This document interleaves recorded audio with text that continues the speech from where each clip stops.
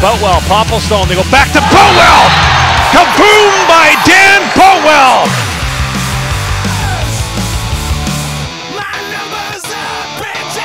Over bump. Sam Tweeby.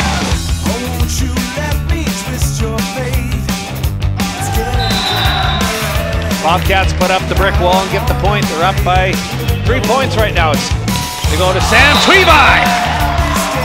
Wow. You know what? If they're gonna give you a gift like a free ball, that's exactly what you're supposed to do.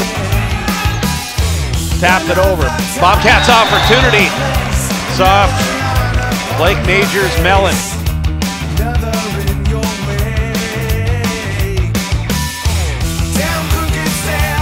Tweeby. Popplestone.